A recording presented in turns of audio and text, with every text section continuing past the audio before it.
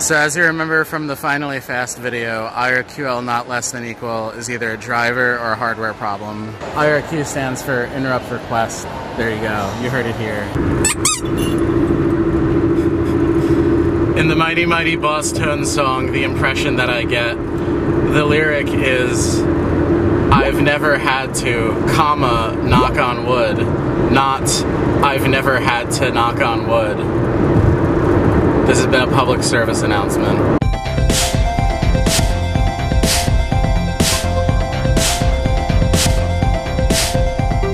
Just wanted to show I just built this weird ass breakout cable. It goes from a Cat 5 to 3. This should be RJ11s, but they're really Cat 5s. So by my front door I have this digital Norstar phone and this analog cordless phone, which I'm gonna grab. I'll go up into the attic here. This is where my stepdaughter's play area is. So I put in this obviously this digital Norstar phone here, as you can imagine. But while I was up here, I noticed that she had this old school analog rotary phone. So I, uh, since I ran Cat 5 up here, I have four pairs. So I gave her two extensions here. I'm gonna test them out here real quick. Do uh, three, two, two. Yeah. See, so I have I have them. They're separate. They're separate um, extensions, but they they ring at the same time. So I could go over here and dial three two two, and it will ring that. And likewise, let me show you this. I think this is the coolest part. Never dialed a Norstar extension with rotary before, so I thought that was kind of cool. So you can do everything from the rotary phone that you can do from, you know, an analog phone uh, there's no display, but like if I want a page, the only caveat is there's no star key. So the way that it works is right now I'm on a dial tone. You probably can't hear that. I just flash, it goes doot, and it's expecting me to dial star, but instead I'm gonna dial one, and that's the same as features. Now I'm gonna do six, three, oh, test, test, test. Awesome. Now this was a pretty big pain to connect. You'd think being in the attic you could just kind of drill a hole down into wherever, but the rest of the house is pretty finished and I don't want to go through the ceiling. So what I've done is I've run the Cat 5 up here, comes down here,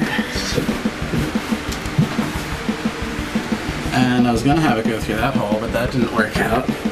So it goes down there, so it actually comes out here, and I was going to have it run down into that hole, and then I was going to patch it through to the other room and take advantage of the phone run that, that went in there, but that didn't work out. I'll show you why in a second.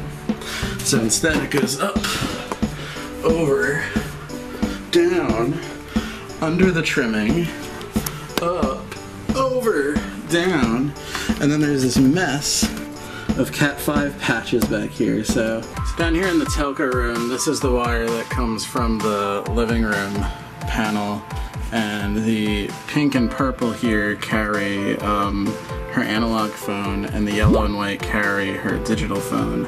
And then from here they go into this Cat 5 which comes out over here. It's this one here. And the orange and white, which is the digital phone, goes right in here into the 66 block into the phone system. And the green and white, which is the analog phone, comes over here and takes a pit stop in the analog terminal adapter. And then the digital side goes back into the phone system here. Gotta clean this up a little bit. I know this is not the tidiest, but again, this is my house. This is not a professional installation. I do not do this for a living. I think this is actually pretty well. This is the nicest I've ever had this installation. Usually it's just laying on a shelf in my bedroom or some shit. So I'm actually very happy with this. Instead of running into the living room, I was originally going to run it through that hole in the wall into the bedroom and use the yellow and black pair of the original phone cabling that went in the bedroom. The only problem is that there isn't a black wire. This weird ass phone wire only has red, green, and yellow. Imagine that. I can't find it, but here's a picture from my Twitter when I did find it and pulled it out of the wall. These days you have red, green, yellow, black. Red and green are tip and ring for line one, yellow and black are tip and ring for line two. So I thought I was gonna hook this up to yellow and black.